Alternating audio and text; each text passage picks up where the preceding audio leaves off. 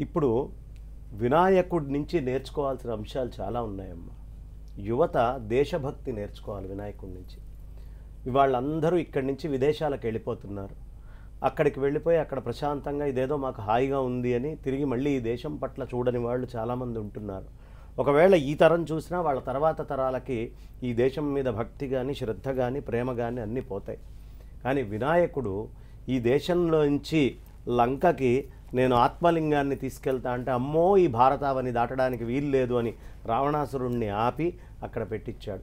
విభీషణుడు శ్రీరంగపట్టణానికి విమానాన్ని తీసుకెళ్తుంటే రామచంద్రమూర్తి దేవతార్చనని దానిని అక్కడ ఆపిచ్చి శ్రీరంగంలో ప్రతిష్ట చేయించారు ఆయన.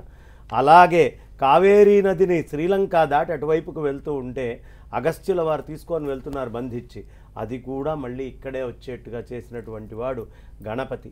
అమూల్యమైనటువంటి వస్తువుల్ని ఈ దేశం నుంచి తరలించకండయ్యా. అమూల్యమైన వస్తువుల్ని ఇక్కడే ఉంచండి. ఇంకా మీరు అక్కడి నుంచి ఈ దేశానికి ఏమన్నా చేయగలిగితే చెయ్యండి అనేటటువంటి సందేశము మనకు గణపతిస్తారు.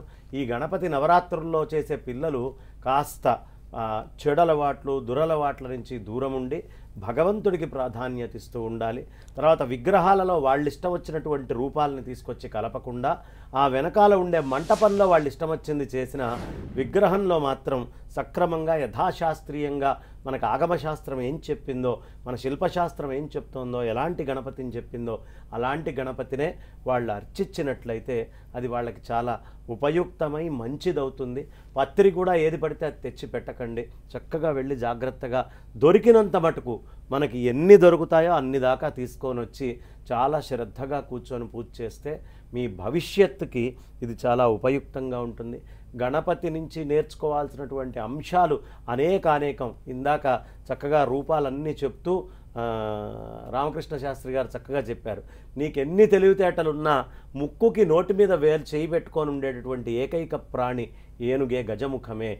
నీకెంత తెలిసినా ఊరికనే ఎగిసెగిసి పడకు. అవసరమైన దగ్గర నిషాదంలో అంటే ఏనుగు ఘీంకరించినట్టుగా ఎవరూ ఘీంకరించలేరు.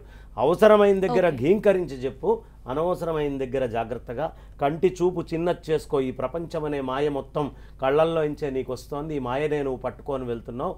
దాన్ని కొంచెం చిన్నది చేసుకో. మాయని తక్కువ రాని ఆత్మజ్ఞానంతో అంతర్ముఖుడివై ఉండు.